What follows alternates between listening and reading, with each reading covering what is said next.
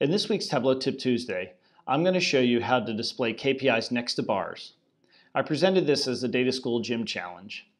And ultimately what we want to end up is with something like this, this view here, where you have the arrow that indicates that there's a problem next to the bar. But the issue is we want it to always be the same distance from the bar. Previously I'd written something uh, a blog post about how to use ASCII indicators, but that's not really what we want to do because those require you to put them in the in the rows as separate separate uh, separate dimensions. So I'm going to show you first. I'll introduce you to the problem, and then I'll show you the solution. So I'm connecting to Superstore Sales, and the first thing I'm going to do is I'm going to drag order date out into the view, and let's maybe just start with a view that's customer and let's just look at sales for order date, something like that. Now what I want to do is I want to use the last two years. So what I'm going to do is I'm going to create a calculated field that is, I'll call it my uh, uh, current year, or uh, let's call it latest year. And this is going to simply be a little calculation that says if the max, I'm going to use a uh, level of detail calculation here, the year of order date is equal to the year of order date. Then give me the sales, and, oh no, I'm sorry, else 0.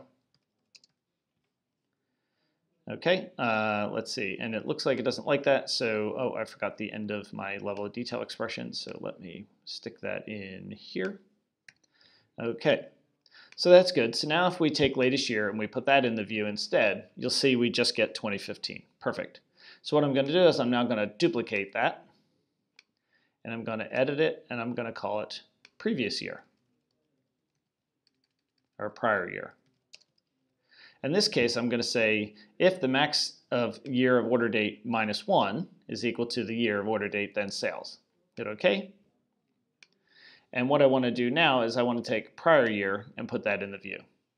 All right, so now you see we get this nice, uh, we, we get things lined up nice and neat. Okay, so let's go ahead and take year off the view. Let's take measure names and measure values off. Okay, so we just have customer segment. And what I'm going to do is I'm going to create a bar chart that shows my latest year sales.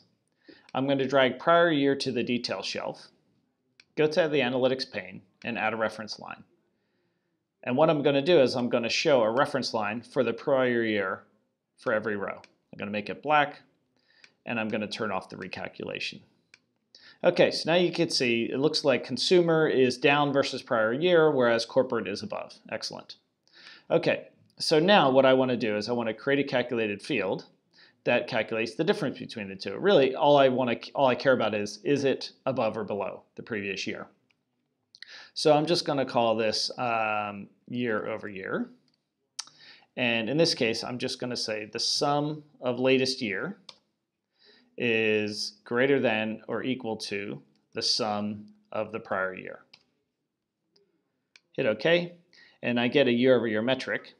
And what I want to do now is um, I need to actually, uh, I want to go ahead and create one more calculated field. And for this, I'm just going to call it my, uh, let's call it mark position.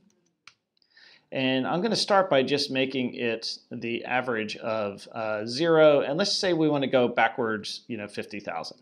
Or actually, so I don't even need to do 0. I could just do minus 50,000 and hit OK. And I'm going to put that in the view as well and then make it a dual axis. Okay, and then synchronize. And now if I go to my latest year, I'm going to switch this back to a bar go to my all marks card, remove measure names. Okay, and then on my mark position, what I want to do is I want this to be a shape, and I want to put my year over year on the shape. So for here, I'm going to double click my shapes, and the ones that are false, I'm going to go ahead and I'm going to make those down arrows. Hit OK. And then I'm going to right click on my true and go ahead and hide those because I don't really care to see those. And then I'm also going to drag my year over year to color because I want those to be red. Okay, so now I can drag the size a little bit, make it a little bit bigger. All right, something like that. From here, I would probably go ahead and untick the show header and turn off the tooltip for that mark. Okay, so now we can see, um, you know, whether it's up or down.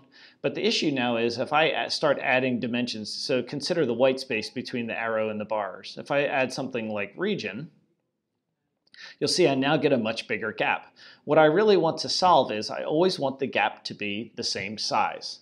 So uh, in other words, it should always be the same distance from the left edge of the bar. So what I'm going to do is I'm going to go ahead and, oops, I'm going to go ahead and um, create a, uh, and actually I've got one more issue I think I need to solve here. So let me put subcategory here. Uh, that's not the one I'm looking for. So there is an instance. Let me see if I can find it here.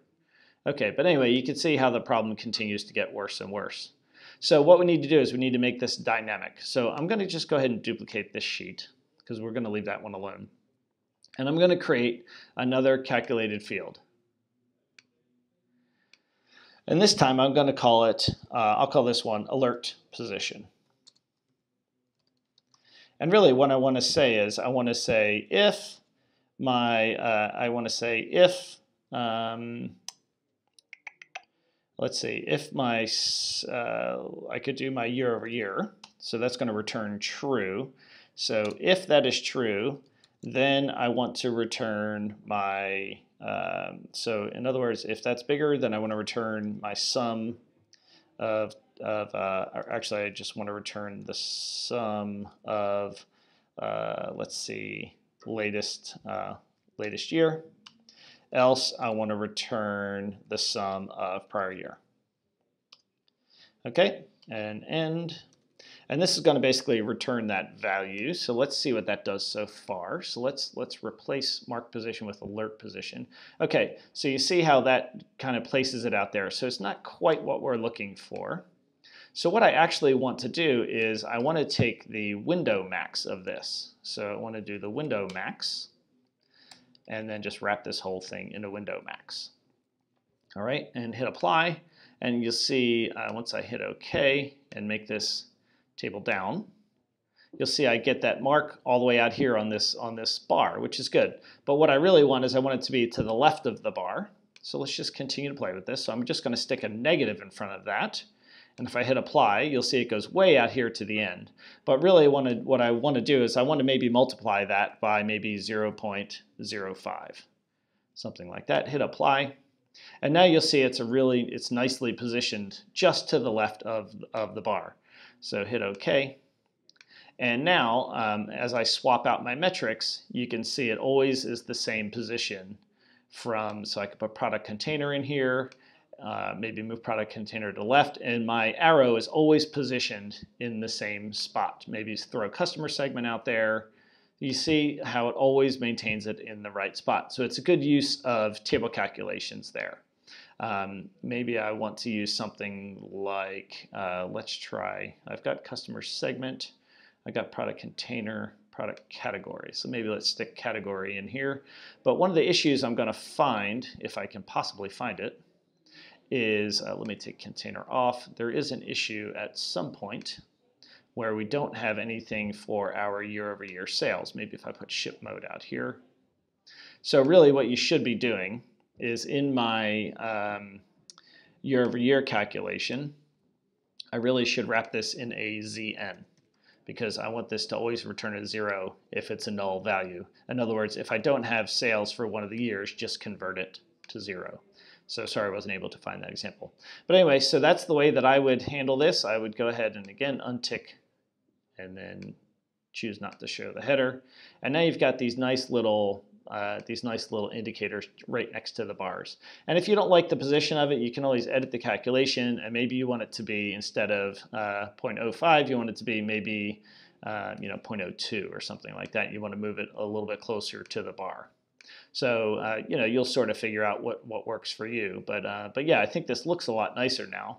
Um, and uh, so hopefully you found that useful. And I'll be back next week with another tip. Have a good day.